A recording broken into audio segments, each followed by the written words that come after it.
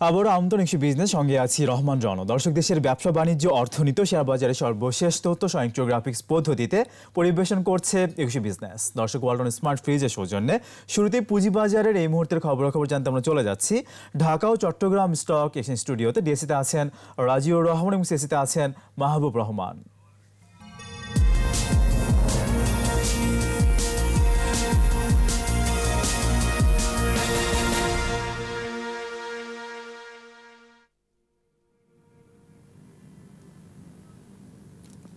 ধন্যবাদ রহমান আপনাকে। এই মুহূর্তে কিছুটা ঊর্ধ্বমুখী প্রবণতায় দেখা যাচ্ছে ঢাকা স্টক এক্সচেঞ্জের লেনদেন এবং ডিএসসির প্রধান ইন্ডেক্সটি ব্রেক ইভেন পয়েন্টে রয়েছে চার হাজার সাতাত্তর পয়েন্টে দাঁড়িয়েছে আর থার্টি ইন্ডেক্সটিও ব্রেক ইভেন পয়েন্টে থেকে এক হাজার তিনশো বাহাত্তর পয়েন্টে অবস্থান করছে এবং লেনদেনের পরিমাণ ছাড়িয়েছে একশো বাহাত্তর কোটি টাকার বেশি। লেনদেন হওয়া প্রতিষ্ঠান এবং মিউচুয়াল ফান্ডগুলোর মধ্যে একশো ছিয়াশি প্রতিষ্ঠানের দর অপরিবর্তিত রয়েছে।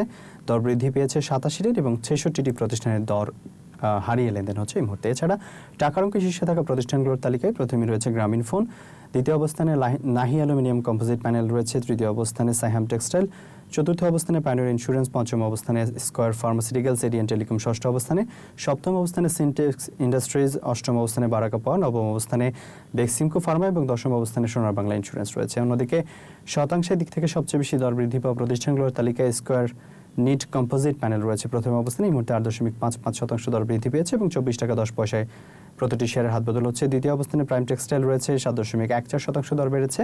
এইচআর টেক্সটাইল তৃতীয় অবস্থানে রয়েছে, ছয় দশমিক নয় চার শতাংশ দর বৃদ্ধি পেয়ে লেনদেন হচ্ছে। হাওয়েল টেক্সটাইল রয়েছে চতুর্থ অবস্থানে। পরবর্তী অবস্থানগুলোতে রয়েছে ফ্যামিলি টেক্সটাইল রয়েছে বিডি ওয়েল্ডিং সিমটেক্স ইন্ডাস্ট্রিজ ইন ভয় টেক্সটাইল এডিয়ান টেলিকম এবং জোনাশন নেক্সট ফ্যাশন অন্যদিকে, শতাংশের দিক থেকে সবচেয়ে বেশি দর হারিয়ে টপ লুজার্সের তালিকায় ইসলামী ব্যাংক বাংলাদেশ লিমিটেড এখনও পর্যন্ত প্রথম অবস্থানে রয়েছে। এই মুহূর্তে পাঁচ দশমিক চার ছয় শতাংশ দর হারিয়ে সতেরো টাকা ত্রিশ পয়সায় লেনদেন হচ্ছে সর্বশেষ। দ্বিতীয় অবস্থানে রয়েছে সিএপিএম আইবিবিএল মিউচুয়াল ফান্ড তৃতীয় অবস্থানে ফিনিক্স ফাইন্যান্স রয়েছে, তৃতীয়, চতুর্থ অবস্থানে রয়েছে সানলাইফ ইন্স্যুরেন্স পঞ্চম অবস্থানে জিকিউ বলপেন ষষ্ঠ অবস্থানে রয়েছে ICB Islami bank limited ACML IBBL Shariah fund রয়েছে পরবর্তীতে।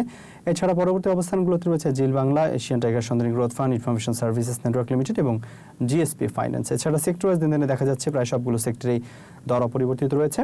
এই মুহূর্তে সবচেয়ে বেশি দর অপরিবর্তিত থেকে লেনদেন হচ্ছে টেক্সটাইল সেক্টরে, যেখানে পঁয়ত্রিশটি প্রতিষ্ঠানের দর অপরিবর্তিত রয়েছে এবং দর বৃদ্ধি পেয়েছে উনিশটি প্রতিষ্ঠানের। ইঞ্জিনিয়ারিং সেক্টরে ছাব্বিশটি প্রতিষ্ঠানের দর অপরিবর্তিত রয়েছে, সাতটি প্রতিষ্ঠানের দর বেড়েছে। মিউচুয়াল ফান্ড সেক্টরে সাতাশটি দর বেড়েছে, দর হারিয়েছে আটটির। এবং এই মুহূর্তে শুধুমাত্র ইন্স্যুরেন্স সেক্টরে পজিটিভ ট্রেন্ড রয়েছে। দেখা যাচ্ছে এই মুহূর্তে পঁচিশটি প্রতিষ্ঠানের দর বৃদ্ধি পেয়ে লেনদেন হচ্ছে, দর হারিয়েছে নয়টির এবং দশটি প্রতিষ্ঠানের দর অপরিবর্তিত থেকে লেনদেন হচ্ছে। এবং এই ছিল আমার কাছে থাকা ঢাকা স্টক এক্সচেঞ্জের এই মুহূর্তের খবরাখবর।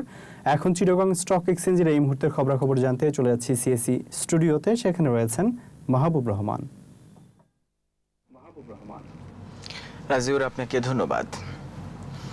সূচকের কিছুটা মিক্সড ট্রেন্ড রয়েছে এই মুহূর্তে চিটাং স্টক এক্সচেঞ্জে দেখা যাচ্ছে সিএসসি অল শেয়ার প্রাইস ইন্ডেক্সটি এই মুহূর্তে সাত পয়েন্ট পজিটিভ অবস্থানে থেকে এগারো হাজার ছয়শো পনেরো পয়েন্টে অবস্থান করছে। সিলেক্টিভ ক্যাটেগরি ইন্ডেক্সটি দেখা যাচ্ছে পাঁচ পয়েন্ট পজিটিভ অবস্থানে রয়েছে, সাত হাজার একচল্লিশ পয়েন্টে অবস্থান করছে এবং থার্টি ইন্ডেক্স দেখা যাচ্ছে পনেরো পয়েন্ট নেগেটিভ অবস্থানে রয়েছে। দিনের এই মুহূর্তে অবস্থান করছে দশ হাজার সাতচল্লিশ পয়েন্টে এখনও পর্যন্ত লেনদেন ছাড়িয়েছে প্রায় চার কোটি টাকা। যে কটি প্রতিষ্ঠানের মধ্যে লেনদেন হচ্ছে তাদের মধ্যে দেখা যাচ্ছে সাতচল্লিশটি প্রতিষ্ঠান বৃদ্ধি পেয়ে লেনদেন হচ্ছে পঁয়ত্রিশটি প্রতিষ্ঠান দর হারিয়ে লেনদেন হচ্ছে এবং আটাশিটি প্রতিষ্ঠানের দর অপরিবর্তিত রয়েছে।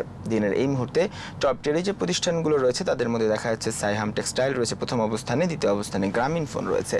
পরবর্তী অবস্থানগুলোতে রয়েছে এডিএন টেলিকম রয়েছে Simtex industry Barakah power Beximco Beximco pharmaceuticals square pharma advent pharma এবং ন্যাশনাল ব্যাংক লিমিটেড এদিকে শতাংশের দিক দিয়ে সবচেয়ে বেশি দর বৃদ্ধি পেয়ে লেনদেন হচ্ছে ঢাকা ডাইংয়ের। দশ শতাংশ দর বৃদ্ধি পেয়েছে প্রতিষ্ঠানটি দিনের শুরু থেকে এখনও পর্যন্ত। টাকার অঙ্কে প্রায় চল্লিশ পয়সা দর বৃদ্ধি পেয়েছে। দ্বিতীয় অবস্থানে রয়েছে স্কোয়ার নিট কম্পোজিট সাত দশমিক ছয় নয় শতাংশ দর বৃদ্ধি পেয়ে লেনদেন হচ্ছে। টাকার অঙ্কে এক টাকা সত্তর পয়সা দরে দর বৃদ্ধি পেয়েছে দিনের শুরু থেকে এখনও পর্যন্ত।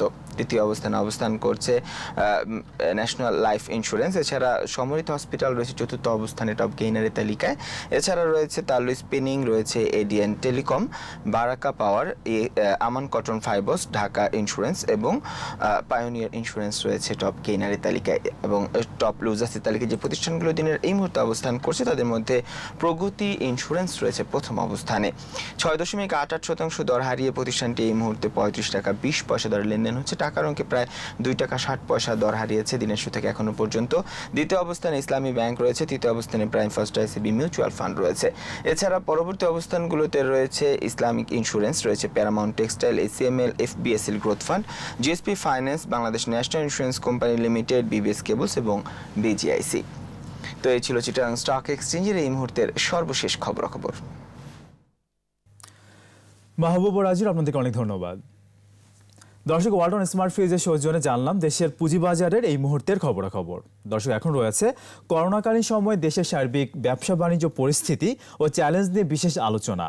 আর এই আলোচনা আমাদের সঙ্গে যুক্ত হচ্ছেন ব্যবসায়ীদের শীর্ষ সংগঠন এফবিসিসিআই সাবেক প্রেসিডেন্ট ও দ্য মির্স গ্রুপের চেয়ারম্যান মীর নাসির হোসেন। মির নাসির হোসেন আপনাকে স্বাগত একুশে বিজনেসে।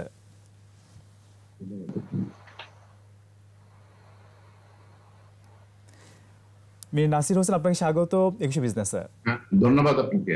ধন্যবাদ। আমরা হচ্ছে করোনার এই প্রাদুর্ভাবে আমরা দেখতে পাচ্ছি বেশিরভাগ সেক্টরই চ্যালেঞ্জ ফেস করছে। তো আপনার কাছ থেকে জানতে চাই, সার্বিকভাবে, সার্বিক ব্যবসা বাণিজ্যকে আপনি কীভাবে দেখছেন? চ্যালেঞ্জগুলোকে আসলে কীভাবে দেখছেন আপনি? আমরা তো প্রায় এখন চার মাস হয়ে গেল প্যান্ডেমিক পিরিয়ড যাচ্ছে। তার মধ্যে তিন মাসই প্রায় বন্ধ ছিল, সাধারণ ছুটি ছিল। তো তার মধ্যে কিছু ইন্ডাস্ট্রি ছাড়া আর তারা সবাই প্রায় বন্ধ ছিল। গার্মেন্টস এর কিছু ইন্ডাস্ট্রি এবং নিত্য প্রয়োজনীয় দ্রব্যাদি। ইন্ডাস্ট্রি আর ওভারঅল ইকোনমিটা স্থবির হয়েছে যার জন্যে যে সমস্যাগুলি সৃষ্টি হয়েছে বিশেষ করে turn over of the companies এগুলি ড্রাস্টিক্যালি কমে গেছে। সেখানে এমপ্লয়মেন্ট বজায় রাখার জন্য এবং লোকজনের বেতন এবং উৎসব ভাতা দিয়ে আমাদের দিতে হয়েছে। সঙ্গত কারণেই কিন্তু এটার আমাদের, এটার জন্য যেটা হয়েছে, আমাদের কোম্পানিগুলির উপরে যথেষ্ট চাপ সৃষ্টি হয়েছে। কিন্তু এখন যখন খুলে দেওয়া হয়েছে, তখন আস্তে আস্তে স্টার্টেড মুভিং যেমন গার্মেন্টসে ইতিমধ্যে কিন্তু আপনি জানেন যে দু একদিনের মধ্যে গত লাস্ট ফিউ ডেজ এর মধ্যে প্রায় এগারো বিলিয়ন ডলারের মতো অর্ডার পাইপলাইনে রয়েছে। তো সেখানে একটা ঘুরে দাঁড়ানোর জায়গা সৃষ্টি হয়েছে। অন্যান্য অর্থনৈতিক কর্মকাণ্ড শুরু হয়েছে। হান্ড্রেড পার্সেন্ট না হলেও কোনোটা ফিফটি পার্সেন্ট, কোনোটা সিক্সটি পার্সেন্ট বা কোনোটা তার বেশি।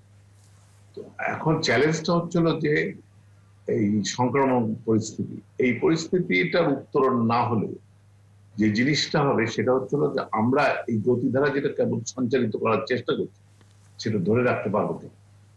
এবং এর সাথে আমাদের ভাবমূর্তির একটা সংকট সৃষ্টি হয়েছে। কারণ হচ্ছে আমরা জানি যে স্বাস্থ্য ক্ষেত্রের খাতের যে বিশৃঙ্খলা, যার জন্য ভুয়া সার্টিফিকেট কিছুতে আমাদের বহির্বিশ্বের সাথে যোগাযোগটা যে খোলার সম্ভাবনা ছিল, সেটা কিন্তু পিছিয়ে যাচ্ছে। কারণ অ্যাকচুয়ালি তো সারা দুনিয়া এখনও খোলেনি। লিমিটেড স্কেলে খুলেছে, কিন্তু আমরা পিছিয়ে যাচ্ছি। কারণ ইটালি আমাদের জন্য ফিফথ অফ অক্টোবর পর্যন্ত বন্ধ করে দিচ্ছে। আমরা দেখব হয়তো অগস্ট অগস্টে অনেক রুট খুলে যাবে। তো এই ম্যান টু ম্যান কন্ট্যাক্টটা আপনার এবং অন্যান্য ইয়েগুলি, ইস্যুগুলি আমরা তখন রিজার্ভ করতে খুব অসুবিধা হবে। এখন যে যদি আমরা ভার্চুয়ালি করছি, কিন্তু physical movement is also very important যদিও পূর্ণভাবে করা স্বাস্থ্যগত কারণে সম্ভব হবে না, কিন্তু তবুও যতটুকু করা যেত সেটা করা সম্ভব হচ্ছে। তো এই হলো বাস্তব অবস্থা। এরপরে রয়েছে অর্থনৈতিক ঘুরে দাঁড়ানোর জন্য যে অর্থনৈতিক সংকটটা সৃষ্টি হয়েছে বিভিন্ন জায়গায়। সরকার একটা প্রণোদনা প্রণোদনা প্যাকেজ, স্টিমুলাস প্যাকেজ ডিক্লেয়ার করেছে। সেটা হলো প্রায় তিয়াত্তর হাজার কোটি টাকা হচ্ছিল এছাড়াও সামাজিক খাতে এর থেকেও আরও কিছু যোগ হয়ে প্রায় একশো তিন, এক লক্ষ তিন হাজার কোটি টাকার মতো তো এর মধ্যে বৃহৎ শিল্পে বা মাঝারি বৃহৎ শিল্পের মধ্যে তিরিশ হাজার কোটি টাকা সরকার ওয়ার্কিং ক্যাপিটাল লোন এটা সাশ্রয়ী মূল্য। অর্ধেক সরকার দেবে, অর্ধেক ব্যাংক বহন করবে। তার মানে আমাদের ওই পোর্শনে যতটুকু আমরা পাবো, সেটুকু অর্ধেক সুদ দিতে হবে। আর স্মল এবং মিডিয়াম এগুলিরও টোয়েন্টি থাউজেন্ড তো এখানে যে যাই ইন্ডাস্ট্রি ব্যাংক কাস্টমার রিলেশনশিপের ভিত্তিতে এটা হচ্ছে এখানে বৃহৎ যেটা রয়েছে, তিরিশ হাজার কোটি টাকা। এটা প্রথমের দিকে অত্যন্ত স্লথ হচ্ছিল এবং ব্যাংকগুলির মধ্যে একটা অনীহার ভাব কাজ করছিল, একটা ফিয়ার কাজ করছিল রিকভারি থেকে আর ডিসবার্সমেন্ট রিকভারি সেটা এফবিসিসিআই সাথে অনেকগুলি মিটিং সরকারের সাথে আমাদের বিভিন্ন পর্যায়ে মিটিং এর পরে সে স্টেটমেন্টটা কেটে গেছে। এখন বৃহৎ যে তিরিশ হাজার কোটি টাকা এটা কিন্তু মোটামুটি এগিয়ে যাচ্ছে এবং আমি আশা করি যে একটা সিংহভাগ এই মাসের মধ্যে ডিসবার্সমেন্ট হয়ে যাবে আর কি, আর হওয়ার পথে থাকবে। কিন্তু ক্ষুদ্র খাতে যেটা যেটা বিশ হাজার কোটি টাকার, সেটা কিন্তু সমস্যার মধ্যে এখনও রয়েছে। কারণ এইখানে ব্যাংকগুলি রিস্ক টেকিং এর জায়গায়, অনেক জায়গায় মানে তারা ভয় পাচ্ছে এবং তারা বিভিন্ন সময় বলছে যে ক্রেডিট গ্যারান্টি স্কিমের কথা বলছে। কিন্তু ক্রেডিট গ্যারান্টি স্কিম তো একদিনের ব্যাপার না, বা আজকের সমস্যা। এটা একটা চলমান যে, এটা অনেক আগেই হয়তো অ্যাড্রেস করা উচিত ছিল, আবার এখন যে প্রচেষ্টা চলছে তাতেও আমার মনে হয় না সামনের বছর আগে এটা আলোর মুখ দেখবে। তো এই পিরিয়ডে তাদেরকে ডিসবার্সমেন্ট করতে হবে। গভর্নমেন্ট সেক্টর ভাগ ভাগ করে দিচ্ছে পরবর্তীতে কোন কোন ক্ষেত্রে তারা ঋণ দেবে। তো এইটা মানে পিছিয়ে আছে। আমার ধারণা মতে কয়েকশো কোটি টাকার বেশি ডিসবার্সমেন্ট এখনও হয়নি। আচ্ছা। এটা আমরা চাপ- আমরা বলেছি যে এই আমরা প্রথমে বলেছিলাম যে জুলাই মাসের মধ্যে এটা শেষ করতে হবে। তা না হলে হবে সাপ্লাই চেনের যে সংকটটা সৃষ্টি হয়েছে, কারণ সাপ্লাই চেনটা ভেঙে গেছে। সেই ভাঙাটা রিপেয়ার করার জন্য এবং যারা স্বল্প পুঁজির ব্যবসা করে, তারা পুঁজি হারিয়ে ফেলেছে। তাদেরকে কিন্তু এই প্রণোদনার আওতায় আনতে হবে। তা না হলে সামগ্রিক অর্থনীতির যে সুফলটা পাওয়ার কথা সেটা আমরা পাবো না। কারণ আমাদের সবচেয়ে বড় সংকট হলো কর্মসংস্থান। এই কর্মসংস্থান সংকুচিত হয়েছে। যার জন্য হয়েছে, দেখা যাচ্ছে যে মানে আমাদের দারিদ্র ভাগ অনেক বেড়ে গেছে। আপনার একুশ পার্সেন্ট থেকে প্রায় চল্লিশ পার্সেন্টের কাছাকাছি চলে এসছে। এখানে মধ্যবিত্ত, নিম্ন মধ্যবিত্ত পরিণত হচ্ছে, নিম্ন মধ্যবিত্ত দরিদ্রের দারিদ্রের মধ্যে চলে এসছে। দরিদ্ররা হত দরিদ্রতে পরিণত হয়েছে। এইখানে এমপ্লয়মেন্ট সবচেয়ে বড় ইস্যু মানে কাজের সংস্থান না করলে, তাদের আয়ের ব্যবস্থা না করলে, আমরা রিলিফ দিয়ে বা সোশ্যাল সেফটি নেটের মধ্যে যতই আনি এটা সমস্যার সমাধান হবে সেটাই সেটা আমরা প্রত্যাশা করছি যে পরিবর্তিত অবস্থায় নতুন নতুন সেক্টরগুলোতে কর্মসংস্থান সৃষ্টি হবে সে প্রত্যাশা আমরা করি। আমরা ছোট্ট একটা বিরতি নিয়ে আসি। দর্শক নিচ্ছি একটা বিরতি ফিরে আসব একটু পরে। আমাদের সঙ্গেই থাকুন।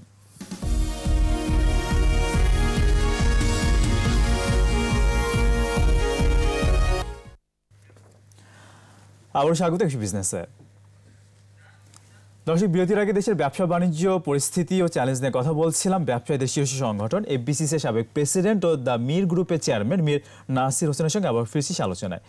মীর নাসির হোসেন বিরতির আগে আমরা সার্বিক ব্যবসা, বাণিজ্য নিয়ে কথা শুনছিলাম। একটু জানব যে সাম্প্রতিক সময়, করোনাকালীন সময় আমরা দেখতে পাচ্ছি এক্সপোর্ট কিন্তু বেশ খানিকটা বৃদ্ধি পেয়েছে। কীভাবে দেখছেন এক্সপোর্টটাকে নিয়ে? সেই সাথে ইম্পোর্ট কিন্তু সেই অনুযায়ী বাড়েনি। এটিকে আপনি কীভাবে দেখছেন?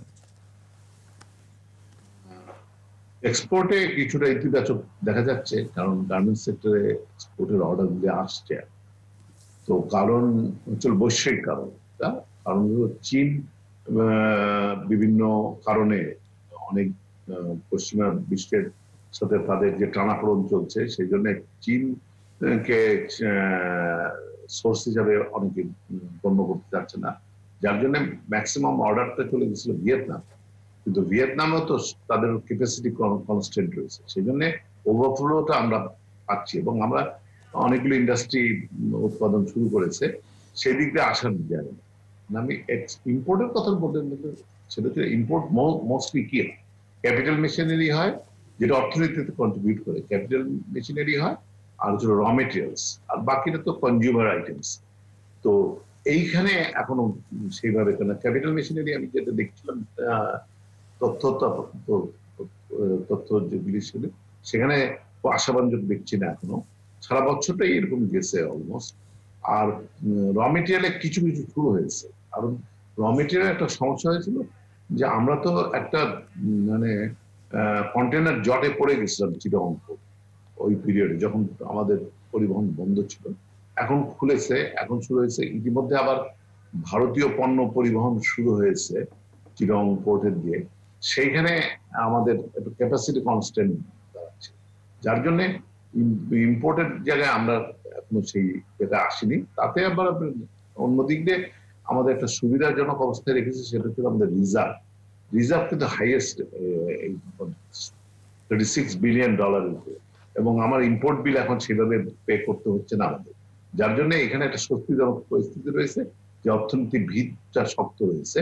এবং এখানে সরকারের বাজেটারি ডেফিসিট বলেন অন্যান্য জায়গায় এটা লিভারেজ দেওয়ার যথেষ্ট সুযোগ রয়েছে। এবং সেই সাথে আমরা দেখতে পাচ্ছি সরকারি বেসরকারি উন্নয়ন যে প্রকল্পগুলো সেগুলো কিন্তু বেশ খানিকটা থেমে গেছে। এটিকে আপনি কীভাবে দেখছেন? কীভাবে গতিশীল করা যায় আসলে? এ- এইটা থেমে গেছিল কিন্তু এই ওপেন আপ হওয়ার পরের থেকে কিন্তু সার্বিকভাবে চেষ্টা চলছে।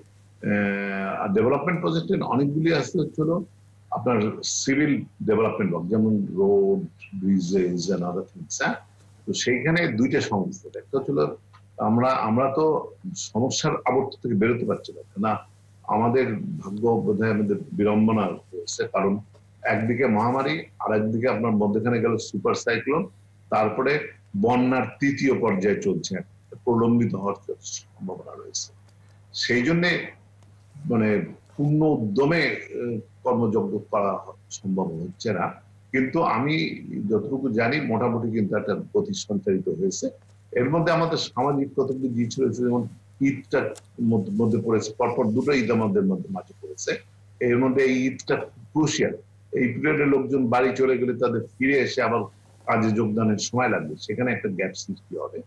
তো এইখানটায় আমরা একটা সংকট দেখতে পাচ্ছি, কিন্তু আর বৈদেশিক যে যে প্রজেক্টগুলি রয়েছে জাইকার থেকে আরম্ভ করে অন্যান্য, তার বিদেশি এক্সপার্ট যারা ছিলেন কাজে সম্পৃক্ত, তারা কিন্তু বেশিরভাগই দেশের বাইরে চলে গেছে সেফটি রিজনে যদিও মেট্রো রেলের এরা একটা ইউনিক এক্সাম্পল এস্টাবলিশ করতে জাপানিজরা তাদের একটা হসপিটাল তৈরি করে তাদের কর্মীদের স্বাস্থ্য ব্যবস্থা টেক কেয়ার করছেন। কিন্তু ওভারঅল যদি এই মহামারীর পরিস্থিতির উন্নয়ন না ঘটে তাহলে কিন্তু এই আমরা যতই চেষ্টা করি সম্পূর্ণভাবে আমরা কিন্তু আমাদের পূর্ণ লক্ষ্যমাত্রা অর্জন করতে পারব তো সেক্ষেত্রে আমি প্রাদুর্ভাব আরও প্রলম্বিত হলে আসলে সেই ক্ষেত্রে কি স্ট্র্যাটেজি আসলে নেওয়া উচিত? কি মনে করেন আপনি?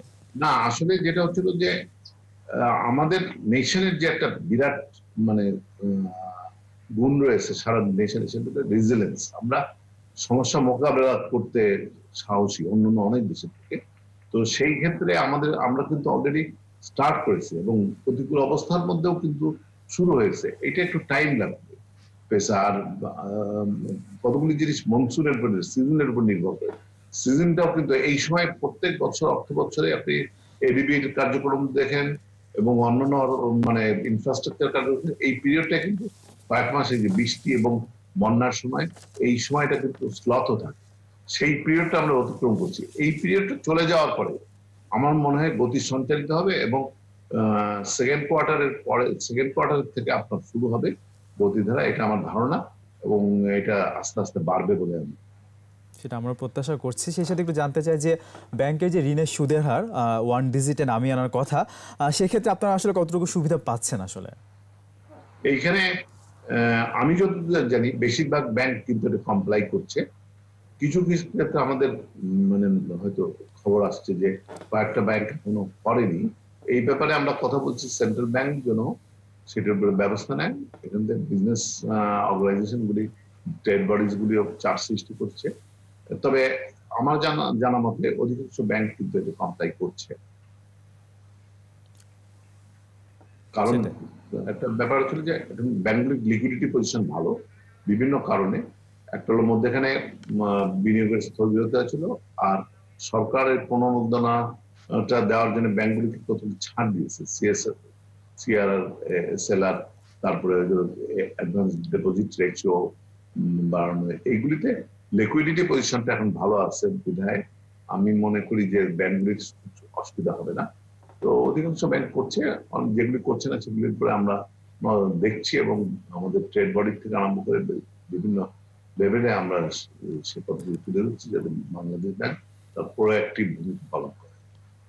সেটা আমরা প্রত্যাশা করছি আমরা প্রত্যাশা করছি এত কিছুর পরেও এই করোনাকালীন সংকটেও আহ, ব্যবসা বাণিজ্যের অগ্রগতি বৃদ্ধি পাবে সেই সাথে কর্মসংস্থান বৃদ্ধি পাবে সেই প্রত্যাশা নিয়ে আমরা শেষ করছি। আপনাকে অনেক ধন্যবাদ আমাদেরকে সময় দেওয়ার জন্য। আপনাকেও ধন্যবাদ। দর্শক, এতক্ষণ করোনাকালীন সময় দেশের ব্যবসা বাণিজ্যের নানা দিক ও করণের কথা বলছিলেন ব্যবসায়ীদের শীর্ষ সংগঠন এফবিসিসি সাবেক প্রেসিডেন্ট ও দ্য মির গ্রুপের চেয়ারম্যান মির নাসির হোসেন। দর্শক, এবার নিচ্ছে আরও একটা বিরতি। বেলা দুইটা পঁয়ত্রিশ মিনিট আবার ফিরে আসব একটু বিজনেসে আরও আয়োজন নিয়ে। আমাদের সঙ্গেই থাকুন।